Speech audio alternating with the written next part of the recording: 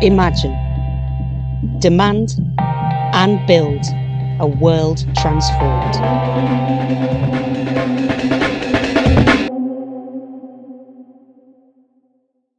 So, without further ado, I'm going to start off um, by handing over to Rob. So, Rob, you've got got five minutes. Tell us about um, music industries, small venues, and, and beyond London as well. All right, thanks for that introduction. And uh, thanks to everyone at TBT. It's been keeping me sane during this crazy time. So um, I'm very happy to be here. Uh, yeah, I'm Rob. I'm a musician and a courier in London. And uh, as, uh, as many of you will probably guess, the music industry has been decimated during this pandemic and um, will continue to be. Um, sorry, once we deal with the economic crisis that follows. Um, there's an estimated 200,000 people who work in the music industry, um, not only just musicians, but people working in the venues as well. And um, a lot of these people, including musicians, have been left with absolutely no support.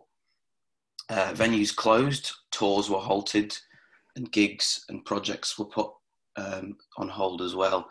I had some work booked in all the way to Christmas, and within two days, several emails later, it was all cancelled and now tentatively penciled in for New Year, but we'll see what happens there. Um, according to UK Music, 72% of those who are working in the music industry are self employed and often um, is bogus self employed. You're often there doing a lot of work and you should be employed, but you're not. And then you don't get the rights that you deserve. Um, this means the furlough scheme didn't apply to a lot of people working in the music industry. So many had to go through universal credit, which is long winded and arduous, as many of you probably can attest to. Um, means a lot of musicians were left basically with no income. Uh, maybe they had some streaming income, but I mean, streaming, you know, pittance. Most of it goes up to the record label. Uh, Sony makes about 600 grand an hour from streaming services alone. Um, so a lot of musicians just were left with streaming. And a lot of musicians, anyway, before this, uh, myself included, relied on other jobs, and the default seems to be zero hours for these things um, these jobs were often affected. So I'm a courier as well, and the courier industry was was um, screwed as well because a lot of a lot of restaurants and things were closing down as well. So this uh, job that people usually did as a side hustle now became their primary source of income, and a lot of people couldn't work, and this left. Uh, you know, it was quite a saturated uh, market now because loads of people were just coming into it because they, they, they were they had to uh, find some money. Obviously, um, I'll speak a bit about venues because I'm involved in a venue in Deptford, um, and obviously music venues are just as screwed as everyone who likes to frequent them. Um, I help run a venue in Deptford called the Matchstick Piehouse. We are an artist-led, volunteer-run space that opened in uh, 2018 and obviously uh, when venues had to close back in May, I think it was. Obviously, we had to close our doors, and uh, kind of left in the in limbo there. Um, a lot of kind of bigger venues and arenas might be able to weather the storm, but a lot of smaller venues are in serious peril. Um, Mark Davyd from the Music Venues Trust, who've supported us quite a lot, um, that represents almost 700 grassroots venues.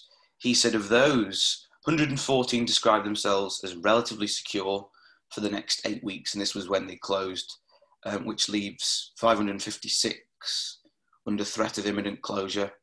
So that's 83% of the entire grassroots sector um, is under threat of closing. And in a tale as old as time, comrades, the main problem is rent. Um, this is coupled with um, small grants that were people were eligible for. Um, if you if your business was valued under 51 grand, you could access a small grant. But for a lot of venues in major cities, not just London, but Manchester and Liverpool, that have huge scenes of, them, of their own, a lot of those businesses were actually valued over £51,000, so they weren't eligible for any of the support schemes.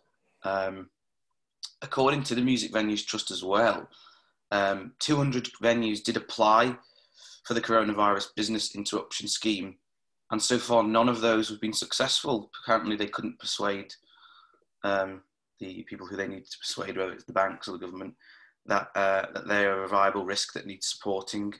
So um, we at the Piehouse, with a lot of other businesses in the area in Deptford, South East London, came together and uh, negotiated a rent freeze with the Arch company who who we rent from, um, which is amazing. Um, it's kept a lot of businesses open, not just music venues, but cafes, businesses, MOT garages, all everything that makes Deptford what it is. Um, the only problem with this is, as soon as the Arch company start asking for for rent again, a lot of these places, including music venues, uh, might not be able to weather that because uh, we're opening in a few weeks. We're opening a, a, small part of the two railway arches. We're opening one railway arch, and we're going to be capping it at like 30 people, which is kind of enough to break even. But a lot of small venues um, can't can't can't social distance. Um, Sister Midnight in Deptford, amazing venue. They've got 50 cap. They're not going to be able to social distance. Um, so a lot of venues now, in theory, can reopen, but they can't do safely. So um, what is to be done? Um, I guess that's why we're here today, right? To share some ideas about how we can support our venues and the artists that we love to go and see in there. Um, the Musicians Union, who are doing amazing work, and Help Musicians are also doing some amazing work with hardship funds, but um, that's going to only go so far, I guess. Um, if you can support your local venues, whether that's actually going to some events that are going that are going to start again, um, if they're being done safely, do that. Um, if not, look for fundraisers and stuff because uh, yeah, it's quite dire and uh, and uh, they need your support. So um, very, I'm very happy to be here. We can chat and see what we can come up with. So solidarity. Cool. Thank you very much, Rob. Um, next up um, is Andrew uh, from the National Theatre. Hi there. Um, am I on? Mm-hmm. Great. Um, so yeah, hi, I'm Andrew, and um, I uh, up until the beginning of this week was a um, a member of the casual workforce at the National Theatre on the South Bank. Uh, I worked there for seven years, uh, front of house, uh, which covered a multitude of roles. Uh, I was an usher, a bartender, I worked as a facilitator on children's theatre, uh, community theatre. Uh, I worked on the tours of the building and um, uh, was involved in bits and pieces of admin from time to time. Uh, so it, it was a, a, terrific opportunity to work, obviously, at um, uh, one of the one of the great institutions of our cultural landscape. Um, the background to the to why I took the job and why it was so appealing to me, which um, and this background is important because it's um, it, it, it, it's about our cultural in, uh, ecosystem in the sense that people that such as myself who are an actor who are a freelance need a, a rent paying job. And so I took the job at the National Theatre because it uh, was flexible. I could give my hours uh, that I was available, and then they would give me um, shifts that fitted around those hours. Now, of course, the, um, the, the downside of that is that it's zero hours. Uh, it's casual work. I wasn't a staff member. I wasn't on a contract. So I didn't have sick pay. I didn't have employment rights. Um, and when I took the job, I thought to myself, well, what's the worst that could happen? I could go away for months on end and not worry about the fact that um, it, it, there was no problem in the sense that I could just come back and say, I'm available again. Uh, as long as I didn't get ill, I was going to be all right. So, um, uh, what I didn't expect was a, was a global pandemic, which would take away the, uh, take away the um, the National Theatre from my um, my take away my safety net in a sense. Um, so um, for the last six months, we've been on furlough. Um, the National Theatre has got into uh, serious financial difficulty. In fact, um, because there are ongoing costs that it needs to meet during the pandemic, and now all 400 uh, casual casuals on its workforce have been laid off. Uh, that's around about 200 front of house staff, such as myself, and then the rest are throughout the organisation, uh, principally working backstage as crew. Um, so the situation is um, that we have no guaranteed redundancy payout. I use the, the term redundancy in um, in hyphenated, you know, what do you call those things? Because it's because we're not staff, we're not um, eligible for redundancy payout, but a payout that um, that reflects our, our service. I've been there for seven years and may not get anything. Um, so uh, the, the, the, downsides are quite huge, really, because obviously as an actor, there's very little work out there currently, although things are uh, are slowly coming back to life. Um, the um, I, I, would like to, to, to say how good it was to work at the National Theatre. Um, as I've covered already, I, I, I worked in many departments, and it really was a tremendous family feel. But here we are um, up against the uh, the hard facts of the situation of where we're at, and casual staff are are kind of just bye bye bye. That's it.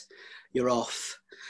Um, we've um, we've also been laid off without any redundancy consultation because we're not staff, even though many of us have been there for many, many years.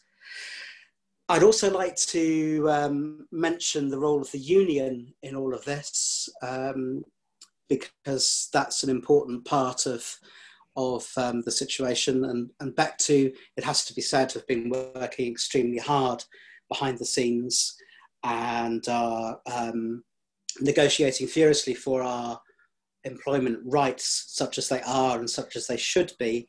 Um, although it's worth noting that whilst the, the, negotiations are ongoing with the National Theatre, Bectu feel unable to, to speak publicly about um, the situation and what they're fighting for, for fear of harming the negotiations. I've been um, part of a small group of casuals who've been working closely with Paul Valentine and the PCS at South Bank and uh, with other organisations, other cultural organisations on the protests that you may have seen along the South Bank in recent weeks.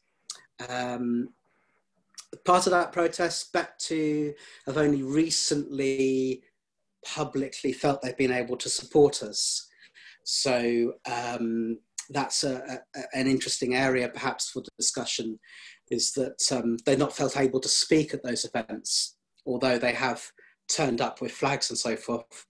But really, that's that's the situation that we find ourselves in, and um, I'm very happy to be here and and discuss possible ways forward, uh, particularly on the employment rights side of things. Thanks very much. Back to you, Paul.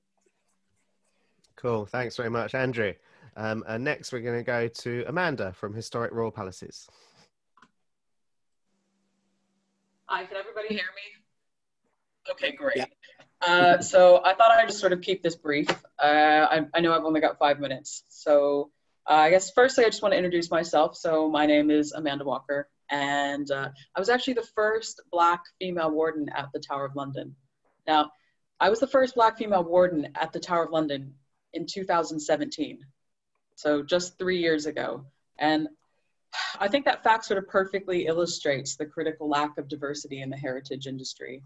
Um, so HRP, Historic Royal Palaces, is the charity that I work for. And it's a charity that is responsible for looking after six palaces of major national and historic significance. Um, so over the past three years, I worked as warden at the Tower of London and I'm currently at Hampton Court. So some of my chief responsibilities include looking after artifacts, uh, greeting visitors, giving tours, uh, just basically being a point of contact for visitors uh, at the palaces. And um, I think another duty that's really overlooked as a warden is telling stories, stories about the palaces. Um, I think who tells these stories matters. and what stories we tell matter. And I think that's why it's so sad that there's such a lack of diversity within the heritage industry. Um, the majority of HRP's BAME workforce is, well, they're on the two lowest pay grades. And um, typically we have insecure fixed term contracts, or I know the last speaker was talking about zero hour contracts. They call them casuals at HRP, but I mean, let's call a spade a spade. They're zero hour contracts.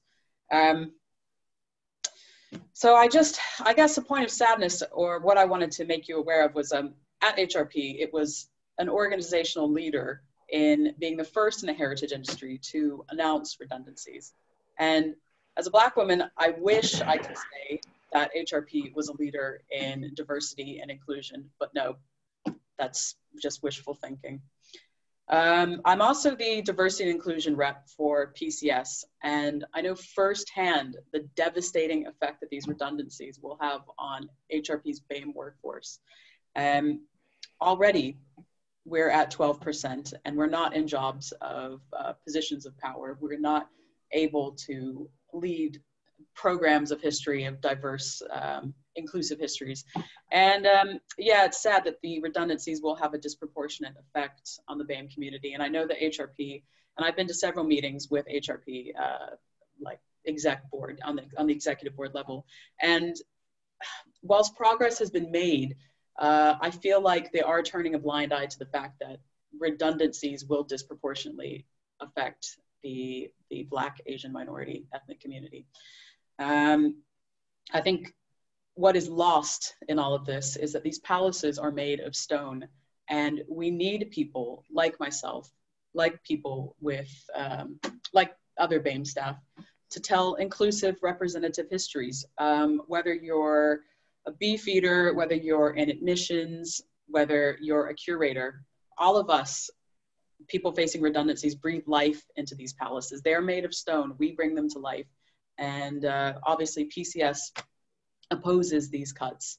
And uh, we think probably the best way to save our organization, because it is facing a, a dire financial situation, is for the government to come in, step in, save jobs, not just give money to construction projects that are ongoing, but to save jobs. People come to the palaces to hear stories. People come to the palaces to interact to get an experience. And I think that that's, that's all been lost in a lot of these job cuts. So that's basically what I wanted to say. Thanks. Cool. Thank you so much, Amanda. Um, and next up, we've got Joe from Bectu and Art Workers Forum. Hello. Uh, hello, everyone. Uh, thanks to the organisers. Uh, really great event. Um, I'm uh, going to speak about two things. Uh, the first is my own redundancy, and the second is the Art Workers Forum. Uh, on my own redundancy, very briefly, uh, colleagues and I were spuriously self-employed, and we spoke about it and joined Bectu Art Tech's branch. and then, as it happens, we were we were made redundant um, in mid March, which, if you remember, was quite a difficult quite a difficult time.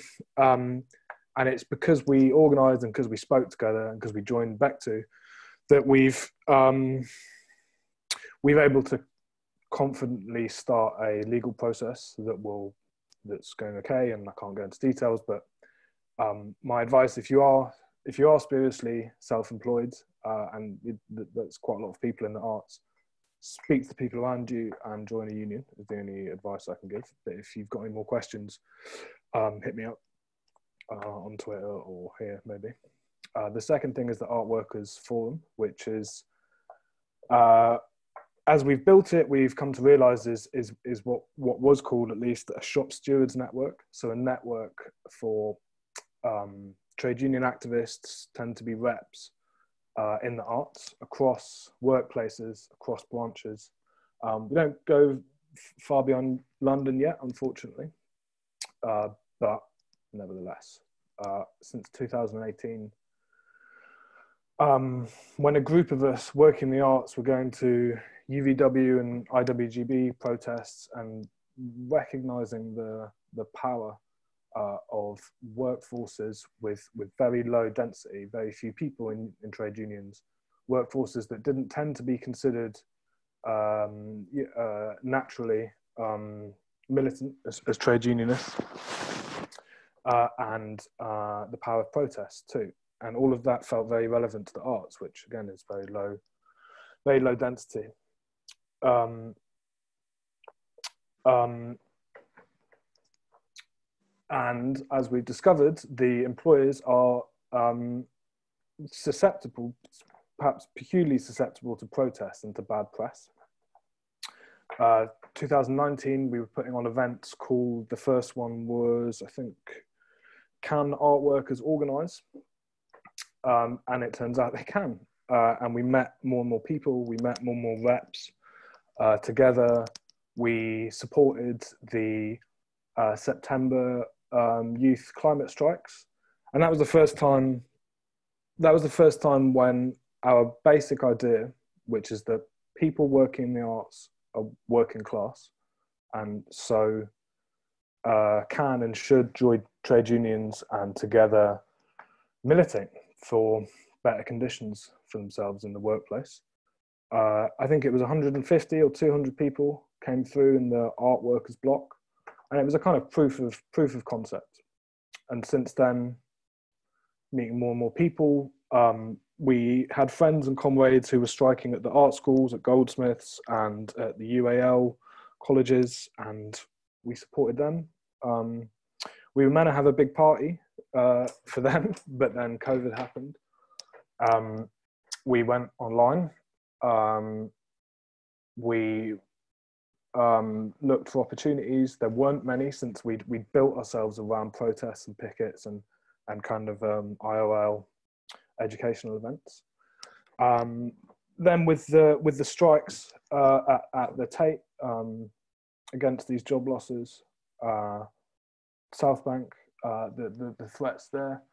Um, I mean, it's not the the question. I, I guess I'll kind of uh, have to leave leave on is uh, what role the forum or the AWF have played in these strikes, and I think the first thing to say is they've come from the branches. It has to be the, the it has to be the people around you that you're taking these these kind of making these these these these moves with. What I think a shop stewards network can do is um, support uh, uh is support those things. Um, and I think sometimes I don't know about these cases, but sometimes that support can be uh, decisive because the difference between a protest of, of ten and 100 can be enormous in terms of press, in terms of how people are feeling about it, uh, you know, the people's confidence to go into these things. Um, um, I think maybe especially in the arts, this is possibly overly subtle, but especially in the arts, these places, the Tate Modern, for example, it needs um, it needs the public to uh, want to be there, to feel good about being there. A particular public too. It's they're they're of course they're classed institutions, um, cosmopolitan, possibly socially liberal, and so on. They don't want to walk past pickets. They don't want to feel bad about going to see whoever might be exhibiting there. I think also uh, artists too. Um, just as Paul, how long have I got left? One minute. Um, okay, a slightly controversial point, hopefully in 30 seconds. We're not the artists' work, we're not the artists' forum. Artists, in my opinion, the vast majority of artists are just regular working people who make art on the side. But when you become a professional artist, that's your main source of income, there's something I would say unique about what you're doing. The fact that you sign work, you sign your work mainly, uh, in the majority of cases, it seems, sets you apart. I'm not saying that you're not working class. I'm not saying you're not where you're from. I'm just saying, as an artist, uh, it's very difficult to organize as a kind of collective industrial group. You can still protest and do all sorts of politically meaningful things, but you can't strike, in my opinion. So we're the art workers forum, not not the artists uh, forum. um, uh, in the last 20 seconds, I guess the, the, the general thing to take from this is that um, shop stewards networks can be effective in building in building together across workplaces, branches, uh, even across sectors. And um, I can see in the comments um, someone's asked for a link. We don't have a public persona yet, but um, but we're working on it. But if you are a trade union, an active trade unionist in the arts, possibly a rep, get in contact with me or or Sam or Paul because we're all talking together and trying to support each other in this obviously pretty difficult, um, pretty dramatic period. Um, and finally, shout out uh, the Tate Strikes. Amazing work. Cool, thanks, Joe. And actually, that's a, a, a seamless link um, because uh, our last but not least speaker um, is Christina from PCS Tate. Uh, hi there, it's Christina Petrella. I'm a PCS Senior Representative of Tate Commerce. I will try to be brief. Paul, stop me if I get carried away. could be. Um, today, actually, is the 17th uh, day of strike at Tate um, against the 313 redundancies uh, that we had at, the, at Tate Enterprises, that the commercial arm of Tate. Uh, about two months ago, Tate announced um, 313 redundancy at Tate Enterprises, and nothing helped this situation um, because we are eligible, as a Tate is eligible of the part of the 1.5 billion of rescue package of the culture sector and in fact the, they will receive 7 million. But uh, that did not help our situation at all and not even the furlough scheme. Um, and uh, actually the, regarding the furlough scheme apparently tate is claiming that we need to be grateful that uh, we have been uh, uh, our, our our our pay has been top up to to 100% during the uh, the lockdown uh, but basically, even though the furlough scheme is still in place, uh, uh, the redundancy are not going to be stopped. And actually, Tate is going to use the furlough scheme to pay for our redundancy notice. All these factors um, radicalized uh, our um, members, and uh, we decide to ballot for strike the consultative ballot went uh, actually uh, almost incredible with more than 99% of uh, vote that have been uh, received back and uh, very close to maybe 80%, uh, 85% for yes or strike. And then when we did the statutory ballot, we decided to um, go for the strike and our core demands maybe many of you, may, maybe they might be aware already, are, um, are centered around three core, uh, um, our, um, our dispute is based on three core demands that if the bailout money is available, must be used to save jobs. And um, if the money is not enough, then institutions must demand for more funding and just 10% of the 7 million government bailout money must be invested to save jobs in Tate enterprise. And the other one is that no redundancy while senior staff continue to be paid more than 100,000 pounds. Um, uh, we, um, we don't have right now, we, we said that we are on the 17th day of strike. We don't have that much time because the redundancy have been put through already. They went through. And so we have until the end of the month, more or less, to revert the decision. And um, even more so, but actually, since the beginning, we were very aware that not necessarily our action would have been uh, able to stop the, the redundancies. But uh, still, we decided that it was important to fight because uh, otherwise we would have been basically losing our jobs without nobody knew nobody knew about it. So we did not want to be uh, go down in silence. And um, in that regard we say that we are already are uh, in a way we are already winning because uh, for the first time in ages we are uh, we are very clear about we are denouncing what's happening to us and how Tate failed to even try to save our jobs. And that is the reason in um, many artists and members and audience and even uh, former uh, employees are siding with us and are uh, calling um, Tate say that this situation is not acceptable and more must be done to save so many jobs. Um, and uh, that is part of actually our um, dispute in a way even though it was not the three initial uh, demands, is the fact that they did not even try to find other solutions. They just went on very old school. Um, we don't need those jobs anymore. Those jobs needs to be cut because, um, yeah, that we were not uh, we were not fit for purpose anymore. We are the commercial branch of Tate, uh, in, working in bookshops and cafe the bookshop and they, they, they decided or they predicted that the bookshops and cafe would not do that much money anymore. So that means that they were supposed to be cut. Um, and, and clearly in that, uh, Tate is treating as an unavoidable collateral damage of the pandemic. And like we don't belong to the culture sector, but that is not actually what is really um, the situation.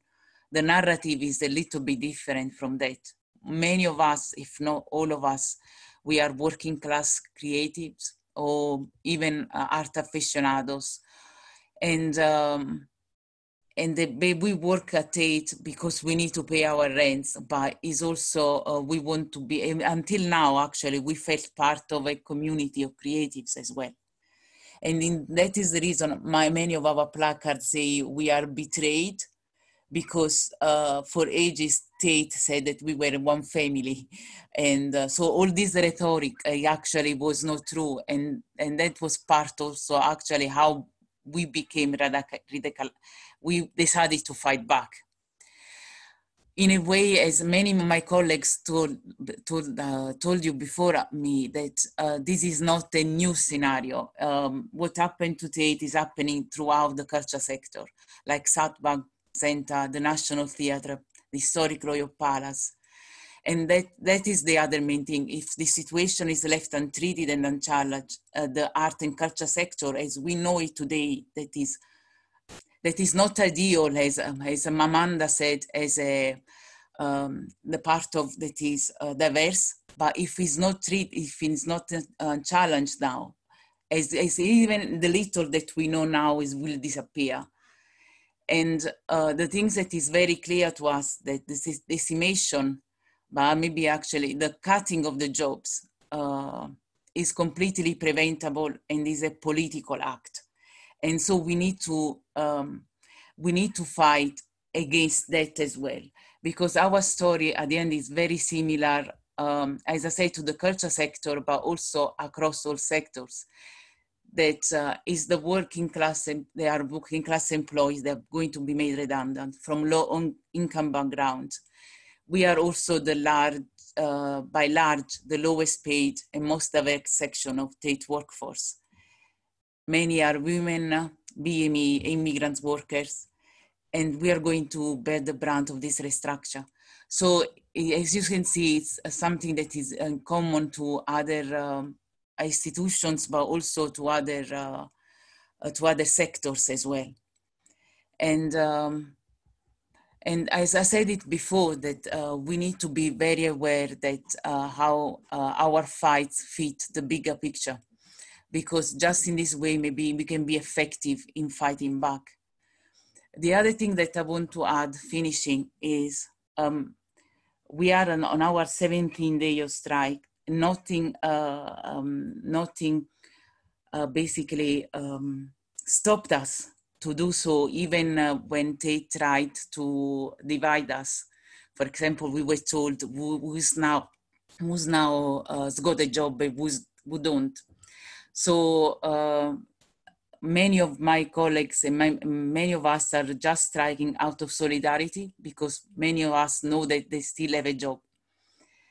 And it, so and all the things that we are organizing the protest the um, uh, the, the picket lines it seems like we are very active but the truth is uh, my membership is not made of activists definitely we are not activists um, maybe we became but we were not and i think one of the first things that uh, helped this situation was the fact that during the lockdown, um, the union was the presence in the in uh, my membership uh, lives even more than Tate the management. We were having like WhatsApp groups talking about what was happening about health and safety. We were having Zoom meetings, and then suddenly the membership went from basically double it. Right now is more than double than uh, it was at the beginning of the lockdown. And I think the fact that we almost um, managed to have a, a collective of people that regardless of the background of the political uh, maybe backgrounds even we came together for the for with the same purpose and going forward i think that needs to be looked at because uh, in a way if we manage to do that it can be done uh, again and the other big point was the narrative because if we left it like this at Tate, basically Tate did not have money and that's it. There was nothing to be done. But we did not uh, left the narrative at Tate. We uh, analyzed and dissected everything that was happening and everything that was communicated to us. And then the other things was everybody was taking part of it. Because like especially when um, during um, this kind of situation like everybody can take part. Like poets creative people they are methodical. Everybody can take part as long as they know what they are doing. And the other and the last thing and i conclude here is uh, we need to recognize that in a way we are in a tipping point. And and again not only in the culture sector but everywhere. In all the sector and especially the working class is going to be hit very harshly by this pandemic if we don't do anything. And on top of it, if we leave it to the people that are now in charge, they potentially could be sent us back to the prehistoric uh, ages. And um, yeah, I suppose we need to uh, start organizing again. Uh, and again, I said, regardless of the uh, different backgrounds, but we need to find to try reimagining life in a time that is trying to um, to strip of it in a way they never seen before. So definitely, um, yeah, we need to fight back.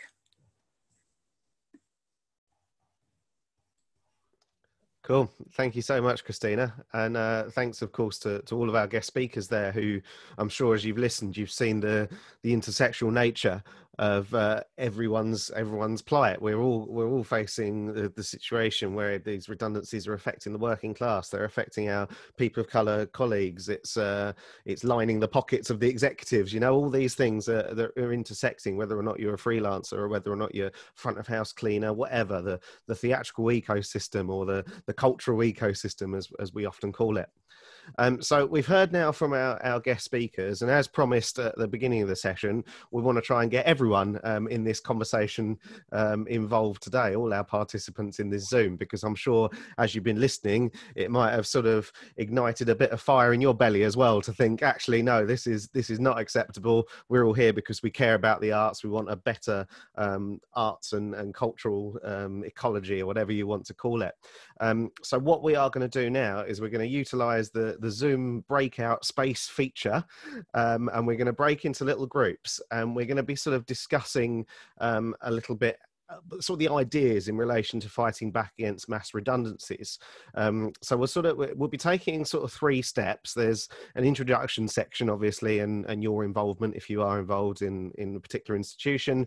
We'll be talking about what are your ideas for fighting back against mass redundancies, and also what do you think uh, the next practical steps um, could be. Um, but don't worry, you don't need to, to sort of remember all of that because we've created a handy Google presentation doc um, that you'll be able to open when you're when you're in the uh, breakout rooms, and it's it's it's open for everyone to fill in. We've made like little um, kind of like online post-it notes, which is quite fun. Um, so when you're in your breakout room, you're making your discussions someone can fill out those various post-it post-it notes. Bear in mind, it is all completely anonymous, i don't sort of feel like you need to worry about that. Um, so we'll be filling this in for the next sort of I don't know 25 minutes or so. Um, then we'll come back together as a group. If we've got a bit of time, we'll try and uh, sort of do a bit of feedback and maybe bring our, our panelists back in. And anything that we do fill out on our Google Doc, I'm sure the the World Transformed will be be sharing on the the forum space, which I'll talk a little bit about later on, or be be sharing online as well.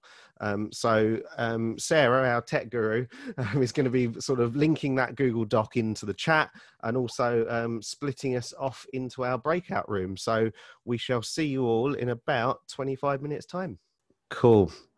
All right then. So uh, yeah, hopefully that um, that session was was useful and you had lots of lots of discussions. I mean, I can see um, on the Google Doc that we we shared with everyone that's been been well populated now. And as said, I'm sure that can be be shared on the forum that I'll I'll mention um, in a moment.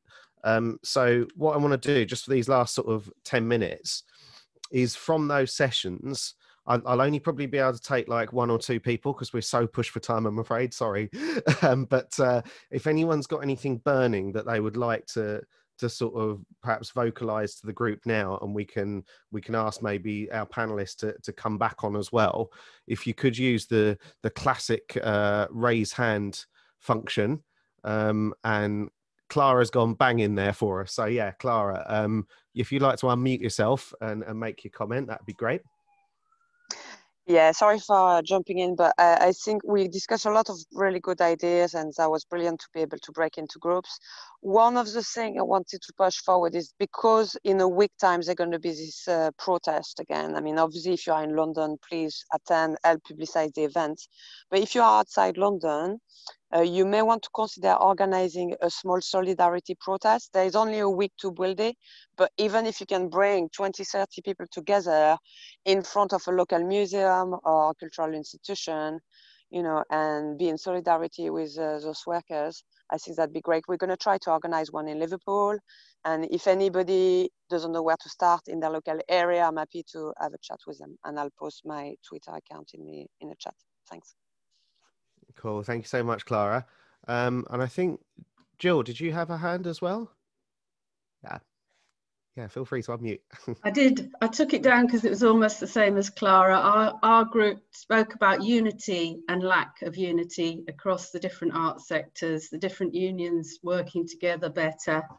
Um, Tom Taylor said that there was a TUC move to get all of the unions together um, but other people said it was difficult to um, legally ask their unions to attend protests. So we talked of working through other organisations as well.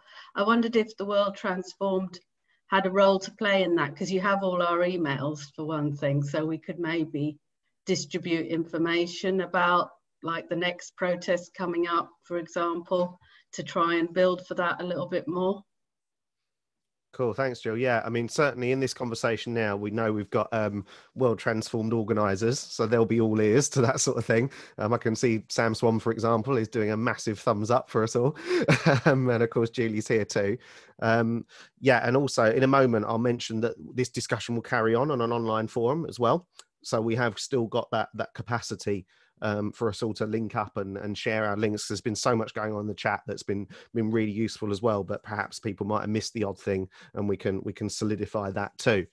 Um, being as I am conscious for time, and we've got sort of five six minutes left. I would like um, if if our speakers have got any any final final words of, of, wisdom or things things to say to us. I'd definitely like to to bring them back in. Um, speakers, I'm afraid you were at the top of my screen, but it's slightly changed now when we came back from the breakout room. So I don't know if speakers you could use the hand function as well. It might be just useful for me so I can introduce the right person at the right time. Um, but have any of our, our guest speakers got um, any sort of final thoughts that they'd like to to add? Um, I can see Joe's actually got a physical hand on the, the window. So yeah, and so's Andrew. So let's go, let's go Joe, Andrew, and then I think Julie as well. So yeah, Joe, Andrew, Julie. Thanks so much. Um, yeah, two things. Uh, the first on the legality of protests. Um, it, it, I mean, in my opinion, I think unions should uh, help to facilitate um, uh, workers' efforts uh, to improve their conditions, which will inevitably include protests. And there are indeed some fairly draconian laws around protests. You can't just, um, at least formally, you have to you have to ask permission for these things. But there's a numerous ways uh, around those laws. Um, and I think if your union is telling you you can't do something, um, you need to really ask questions why that is. Um, sometimes it is a legal issue, but other times it's an issue of um, lack of confidence, lack of initiative, lack of knowledge. Uh, so I think that's a ultimately a political issue that, that we just have to push back against as activists. And the second thing is I looked through the cards briefly, and there was talk of um, bringing bringing these efforts together um, over the next while. Um, uh, on that, you know, on the South Bank, there have been now three protests over August that have involved several unions and several branches. Um, what needs to happen is just more people need to need to be involved, and that's partly an issue of communication from those branches and and the people around them. Um, but it's also, you know, it, these things take time. You know, if if you want to do things democratically, if you want to move together, it's it's not it's not it doesn't take days or even weeks. It takes months to build those to build those relationships. Um, but yeah, as Clara said, next Saturday is what hopefully will be the biggest demo yet, a march from the Tate Modern past the South Bank, past the National Theatre to um, to Whitehall, and uh, I'll leave the Facebook uh, event in the in the chat because I think that's something that as individuals, but especially as people in CLPs, uh, people in, in branches and unions, that's really something to bring, to come to and to bring people to. Um, and yeah, thanks again. Uh, great event. Cool. Thanks, Joe, and then uh, Andrew, and then Julie. Right. Um, thank you.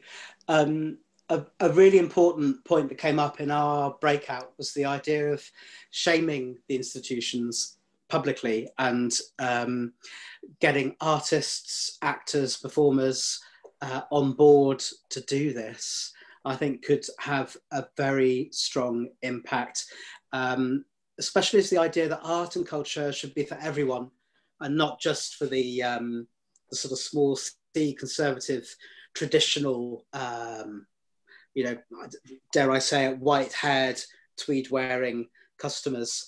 Um, I think the idea of um, of diversity and um, and art being something that uh, everyone consumes, and therefore uh, a grassroots shaming um, by by the by the artists is is a, is is a really strong idea. I don't know if I've expressed that properly, but I think there's some legs on on that one. Cool, thanks, Andrew and uh, Julie. Yes, I wanted to share the resource efforts in the in the chat, which is something that we've compiled with some PCS members and some ACORN members with lots of signposting for mental health and housing because all those issues are really interconnected. So we thought we'd just throw all that together just to give a bit of clarity. And then there's also, uh, we've, we've produced a map of arts and culture unions uh, with a video description. So it's available at the end of that document if you want to have a look.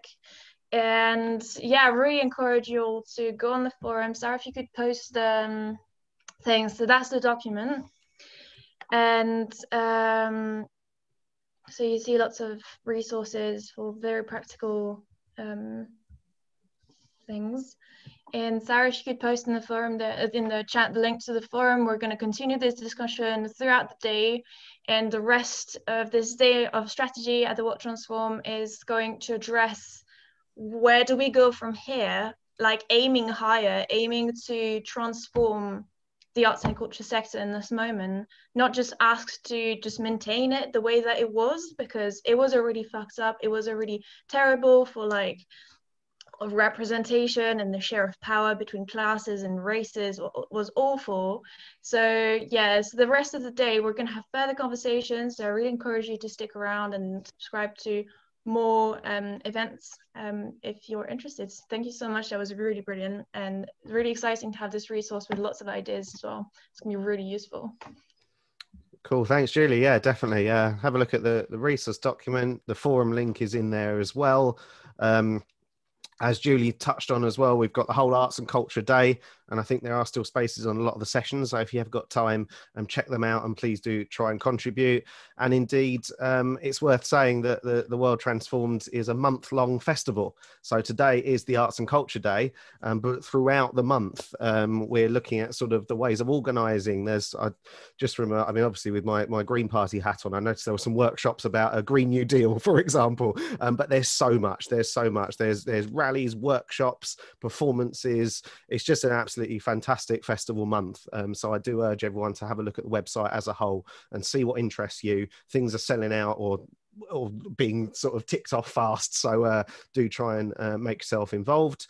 Um, I'm also want to just once again um, point you to sustaining the work of the, the World Transformed once more. Obviously, it, it is a, a, free festival for people, um, but if you do feel like you you have the capacity um, to perhaps um, donate or in ways to support, um, check out the worldtransformed.org forward slash support, and that'll give you all that that sort of um, information there.